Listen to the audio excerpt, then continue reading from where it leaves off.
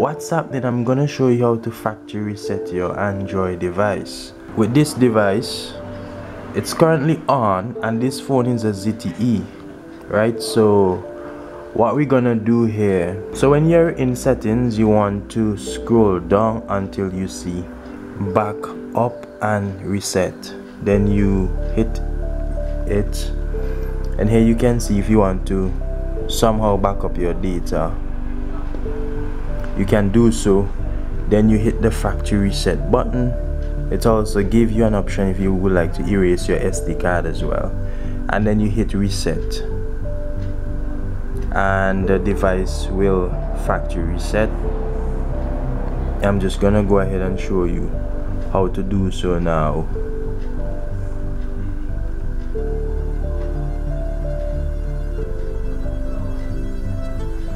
And bear in mind that for some devices it will definitely take some time to start up on the force start up after factory resetting your device.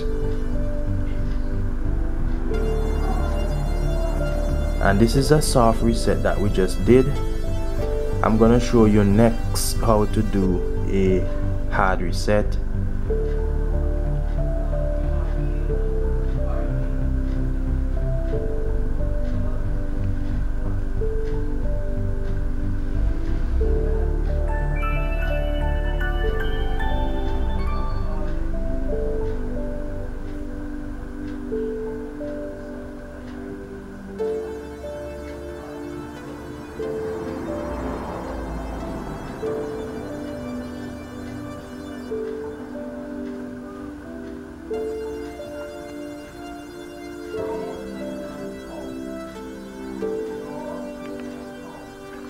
so guys this is what I'm talking about. At times it may take a while on the first start up. You don't want to take out your battery or anything like that. Just leave the phone for some time until you see.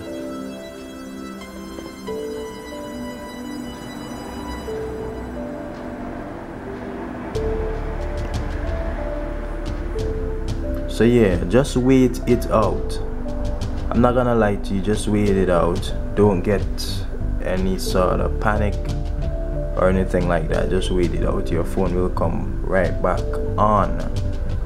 And this is how you properly reset your device.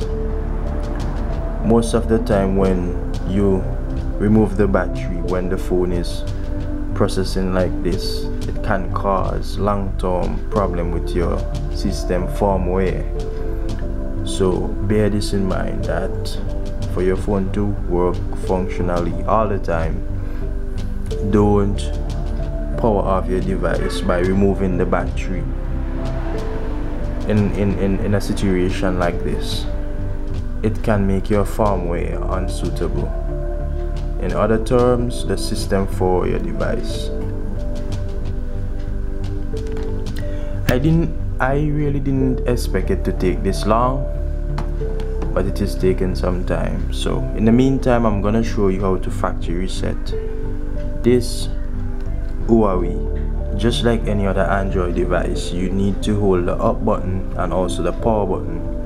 And you hold them simultaneously. We can release the power button now and we can hold the volume down.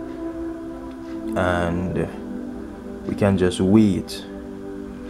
So here you can see that we are in the reset mode and to do a factory reset in this mode you need to navigate using the up and down.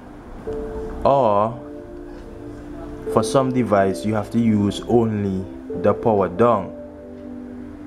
And if it if you reach at the bottom you will go back up at the top and the up button to select. So it varies on the different devices. To do a factory reset volume up and down to move highlights. Enter button to select. So our enter button will be our power button here for this device and we can navigate freely. So to do a factory reset we want to go here wipe data factory reset and we highlight it there and then we hit the power button. And if we want to confirm doing so we navigate to yes and then we hit the power button. And that's how you do a factory reset for your device and then you reboot now. And your phone will restart and it can take some while to start up. Like this device the ZTE so you can see that the screen is now on the welcome screen and we need to select our language. Select United States English put in our Wi-Fi if we so desire. Uh, I'm gonna go right ahead and do that as well.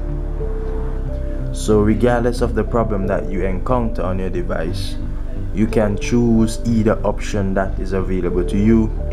There are cases where your phone is stuck on the logo and not coming on. You can try a factory reset if you need any help or assistance eh, with anything you can also comment down below. Utilize the comment section.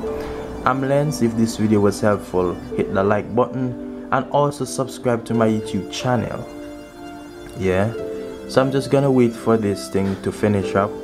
Bear in mind if you don't want to wait you can skip. It is now connected here and I just gotta hit next. I'm gonna skip and I'm gonna make it more faster for us to log on skip anywhere and uh,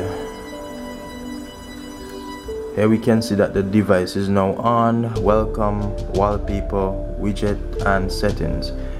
Yeah so everything now is on here and uh, I can go now and I can put in the Wi-Fi very easily. And that's how we can uh, do a factory reset. Again subscribe to my YouTube channel. My name is Lenz. Peace out